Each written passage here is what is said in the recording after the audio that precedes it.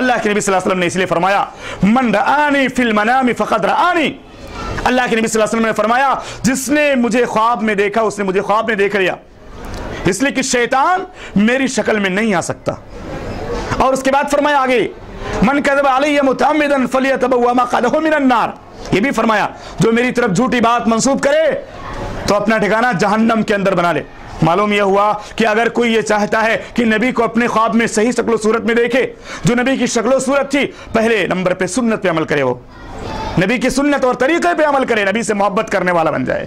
اور دوسری چیز، نبی کی شکل و صورت جو صحیح حدیثوں کے اندر صحابہ نے بیان کیا، اس کو پڑھے۔ نبی کی شکل و صورت کو سمجھے۔ نبی کا چہرہ کیسا تھا؟ آپ کی داڑھی کیسی تھی؟ آپ کے چہرے پر کس طرح سے بال تھے؟ داڑھی کی کتنے بال سفید تھے؟ یہ سب پڑھے۔ یہ سب نہیں پڑھے گا تو شیطان بھی آئے بولے گا، میں نبی ہوں۔ شیطان بھی آ کر کے بولے گا، کیا؟ میں نبی ہوں، آدمی کو دھوکا ہو جائے گا. تو آج کل بہت سارے لوگوں کو شاید دھوکا ہو رہا ہے اور وہ سب بولتے ہیں، میں نے خواب دیکھا، میں نے خواب دیکھا، میں نے خواب دیکھا، اللہ کے نبی صلی اللہ علیہ وسلم آئے تھے۔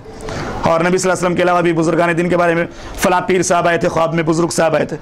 تو شیطان جو ہے، نبی کی شکل میں تو نہیں آ سکتا۔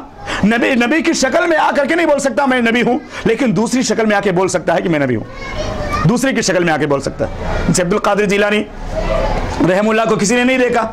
اب جس نے نہیں دیکھا ہے، شیطان کسی بھی شکل میں آئے گا، خواب میں کہ میں عبد القادر جیلانی ہوں فلاں بزرگ ہوں۔ اس کو کیا معلوم پڑے گا؟ اس نے تو دیکھا ہی نہیں ہے۔ اور آج اس ان خوابوں کی بنیاد پہ پورا مسلمانوں کا ایمان چوپٹ ہو رہا ہے۔ ان کا دین اور عقیدہ برباد ہو رہا ہے۔ ہاں بزرگ صاحب نے کہا میں نے خواب میں دیکھا، باقاعدہ روتے ہیں، بتکلف روتے ہیں۔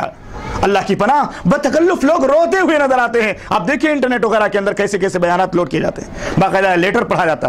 نبی کو خواب میں دیکھا، ایسا کیا، رو رہے ہیں۔ باتیں بیان کرے سب جھوٹی باتیں ہوتی ہیں۔